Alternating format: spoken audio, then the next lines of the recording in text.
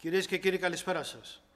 Σας καλέσαμε σήμερα εδώ προκειμένου να σας παρουσιάσουμε μια σημαντική υπόθεση που χειρίστηκε με αποτελεσματικότητα η Διεύθυνση Ασφάλειας Αττικής. Συγκεκριμένα, το τμήμα εγκλημάτων κατά ιδιοκτησίας κατάφερε να εξαρθρώσει εγκληματική οργάνωση που διέπρατε συστηματικά διακεκριμένες περιπτώσεις κλοπών, διαρρήξεων σε οικίες και αποθήκες σε διάφορες περιοχές της Αττικής, Καλκίδας και του Λουτρακίου. Το κύριο χαρακτηριστικό του εγκληματικού αυτοδικτύου ήταν η δόμησή του στο πλαίσιο των διεθνικών εγκληματικών ομάδων και οργανώσεων του Ευρασιατικού Οργανωμένου Εγκλήματος, ανάμεσα στις οποίες εξέχουσα θέση έχουν οι Βόρους Ζακόνε ή Thieves in Law. Για τον εντοπισμό και τη σύλληψη των μελών της οργάνωσης, αστυνομική της υπηρεσίας μας πραγματοποίησαν εχθές, 30 Σεπτεμβρίου 2021, οργανωμένη επιχείρηση σε Πεύκη, Περιστέρη, Πατήσια και Κυψέλη και κατάφερε να συλλάβουν έξι μέλη της, μεταξύ των οποίων και το αρχηγικό που έφερε τον τίτλο ΒΟΡ. Λόγω του διεθνικού χαρακτήρα της οργάνωσης και της συμμετοχής σε αυτής τελέχους της γεωργικής, γεωργιανής μαφίας, την όλη επιχείρηση συνέδραμε και σύνδεσμος της Europol. Συνολικά, εξηχνιάστηκαν 42 διαρρήξεις, ενώ κατασχέθηκαν πλήθος κοσμημάτων, ρολογιών, ασημικών, ηλεκτρικών και ηλεκτρονικών συσκευών. Το όφελος που αποκόμισαν τα μέλη της οργάνωσης από την εγκληματική τους δράση υπερβαίνει τις 194.000 ευρώ. Λεπτομέρειες για την υπόθεση θα δοθούν από τον εκπρόσωπο τύπου της ελληνικής αστυνομίας. Κλείνοντας, θα ήθελα να ευχαριστήσω και να συγχαρώ όλους τους αστυνομικούς που συνέβαλαν με τρόπο επαγγελματικό στην εξάθρωση της προαναφερόμενης εγκληματικής οργάνωσης. Σας ευχαριστώ. Κυρίες και κύριοι, καλησπέρα σας. Όπως σας προανέφερε κύριος Δικητής, σήμερα θα σας παρουσιάσουμε την εξάρθρωση μιας διεθνικού χαρακτήρα εγκληματικής οργάνωσης από το Τμήμα Εγκλημάτων κατά Ιδιοκτησίας της Διεύθυνσης Ασφάλειας Αττικής. Τα μέλη της εν λόγω εγκληματικής ομάδας διέπραταν συστηματικά διαρρήξεις σε οικίες και αποθήκες σε διάφορες περιοχές της Αττικής, της Χαλκίδας και του Λουτρακίου. Σε βάρος των συλληφθέντων σχηματίστηκε κακουργηματικού χαρακτήρα δικογραφία για τα κατά περίπτωση αδικήματα της εγκληματικής οργάνωσης που διέπρατε διακεκριμένες κλοπές κατά συναυτουργία και κατά εξακολούθηση και αθώς και απόπειρες αυτών του νόμου για την πρόληψη και καταστολή της νομιμοποίησης εσόδων από εγκληματικές δραστηριότητες, για απίθεια, πλαστογραφία, καθώς και των νόμων περί όπλων και ναρκωτικών. Στην αστυνομική επιχείρηση που πραγματοποιήθηκε χθες, 30 Σεπτεμβρίου του 2021, τους αστυνομικούς της Διεύθυνσης Ασφάλειας Αττικής συνέδραμε και σύνδεσμος της Europol λόγω του διεθνικού χαρακτήρα της δράσης της εγκληματικής οργάνωσης, καθώς και τη συμμετοχή σε αυτή στελέχους της μαφίας. Από την έρευνα που πραγματοποιήθηκε, προέκυψε ότι οι συλληφθέντες, τουλάχιστον από το καλοκαίρι του 2020, είχαν συστήσει και είχαν ενταχθεί σε εγκληματική οργάνωση, η οποία επιδίωκε τη διάπραξη κακουργημάτων και κυρίως διακεκριμένων κλοπών και διαρρήξεων σε οικίες και αποθήκες. Συγκεκριμένα, η οργάνωση ήταν δομημένη στα πλαίσια διεθνικών εγκληματικών ομάδων και οργανώσεων του Ευρασιατικού Οργανωμένου Εγκλήματος. Ο αρχηγός της οργάνωσης, ο οποίος σύμφωνα με τα επίσημα στοιχεία των διεθνών αστυνομιών φέρει τον τίτλο του ΒΟΡ, ήταν φυσικός αυτούργος σε ορισμένες από τις διαρρήξεις, οι οποίες γινόντουσαν κυρίως στην επαρχία. Ήταν αυτός που λάμβανε ενημέρωση σχετικά με την δραστηριότητα της ομάδας, τόσο σε επίπεδο εγκληματικής δραστηριότητας, όσο και στο επίπεδο της μετέπειτα διαδικασίας διοχέτευσης των κλοπημαίων στην αγορά. Σημαντικό ρόλο στην ομάδα κατήχε και έτερος συλληφθής, ο οποίος είχε τον ρόλο του επιχειρησιακού αρχηγού. Ειδικά στις περιπτώσεις που η ομάδα δρούσε σε οικίες.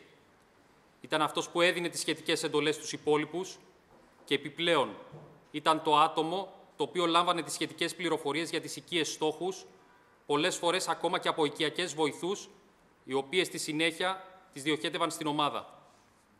Τα υπόλοιπα μέλη της εγκληματικής οργάνωσης δρούσαν με διακριτούς μεταξύ τους ρόλους, όπως φυσικοί αυτούργοι, τσιλιαδόροι και κατοπτεύοντες. Ως προς τον τρόπο δράσης τώρα, στις διαρρήξεις των οικειών, τα μέλη της οργάνωσης χρησιμοποιούσαν συγκεκριμένη μεθοδολογία, η οποία σπανίως διαφοροποιούνταν και μόνο σε εξαιρετικές περιπτώσεις όπου οι συνθήκες το απαιτούσαν. Επέλεγαν αρχικά περιοχές στην Αττική ή στην επαρχία, όπου μετέβαιναν χρησιμοποιώντας πάντα επιχειρησιακά αυτοκίνητα της οργάνωσης, ενώ στην συνέχεια, για να εντοπίσουν μελλοντικούς στόχους τους, μετέβαιναν στην περιοχή σε διάφορες χρονικές στιγμές, όταν οι ένικοι έλειπαν και κατόπτευαν τις οικίες. Ακολούθως, επιτηρούσαν τις κινήσεις των ενίκων, ώστε να είναι σε θέση να κατορθώσουν το καλύτερο δυνατό σχέδιο για την επίτευξη του στόχου τους. Όταν τα μέλη της οργάνωσης επέλεγαν την περιοχή στην οποία θα δρούσαν και αποφάσιζαν να προχωρήσουν στη διάρρηξη της οικίας, στάθμευαν τα επιχειρησιακά αυτοκίνητα σε κοντινά των στόχων σημεία και στην συνέχεια χρησιμοποιώντας διαφόρους τρόπους, όπως για παράδειγμα κλειστά μπατζούρια, έλεγχαν εξωτερικά τα διαμερίσματα προκειμένου να καταλάβουν εάν απουσιάζουν οι ενικοί τους. Ακολούθως, με διαφόρους τρόπους και τεχνάσματα, προσπαθούσαν να αποκτήσουν πρόσβαση στην κεντρική είσοδο των πολυκατοικιών. Τουλάχιστον ένα μέρος της ομάδας παρέμενε σε κατάλληλο σημείο και επιτηρούσε εξωτερικά την οικία, ώστε να διαβεβαιωθεί ότι αφενός μεν δεν θα προσεγγίσουν στο σημείο αστυνομικές δυνάμεις και αφετέρου ότι δεν θα επιστρέψουν οι ένικοι. Επιπλέον, έδιναν ιδιαίτερη βαρύτητα στις κάμερες, όπου μπορεί να υπήρχαν στην περιοχή, προκειμένου να μην τους καταγράψουν. Η δράση της ομάδας δεν περιοριζόταν μόνο σε διαρρήξεις στην περιοχή της Αττικής.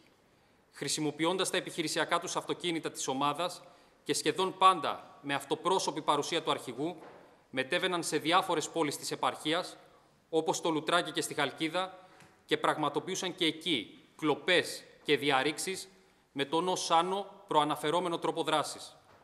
Μάλιστα, ήταν τέτοιο το επίπεδο της οργάνωσής τους, ως προς τα μέτρα προφύλαξης, που στις περιπτώσεις όπου μετέβαιναν στην επαρχία, απόφευγαν να μιλάνε στην μητρική γλώσσα μεταξύ τους, προκειμένου να μην κινήσουν τις οποιοδήποτε υποψίες, λαμβάνοντας υπόψη τις μικρές κοινωνίες των επαρχιακών πόλεων.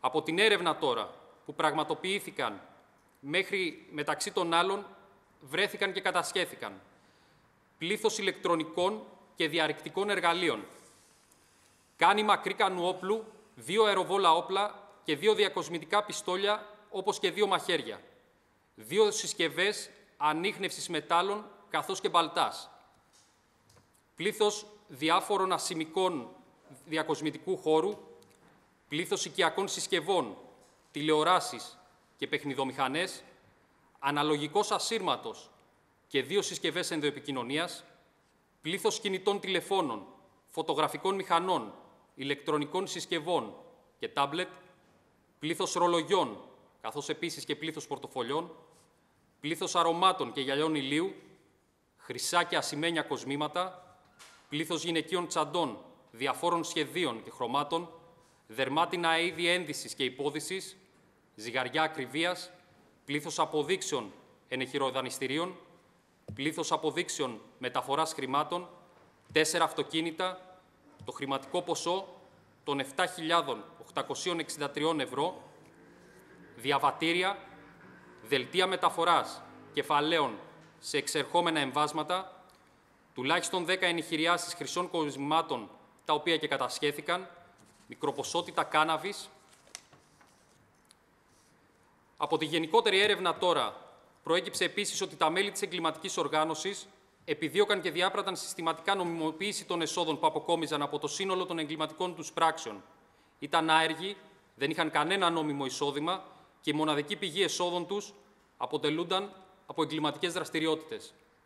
Ο αρχηγός της οργάνωσης έχει καταδικαστεί και στο παρελθόν για διάφορα αδικήματα και θεωρείται επαγγελματίας που καταλαμβάνει υψηλή θέση μεταξύ των άλλων εγκληματιών του οργανωμένου εγκλήματος και γι' αυτό το 2004 χρήστηκε Φίφιν Law, κλέφτη στο νόμο ή στα ρώσικα Βορ Βιζακόνε.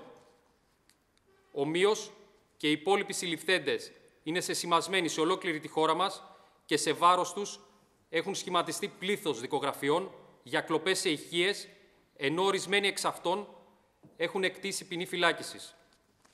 Τέλος, σε βάρος του συλληφθέντα, εκρεμεί καταδικαστική απόφαση με ποινή φυλάκισης ενός έτους για απόδραση κρατουμένου από κατάστημα κράτησης το έτος 2014, όταν και παραβίασε τακτική εννιαήμερη άδεια και δεν επέστρεψε ως όφιλε.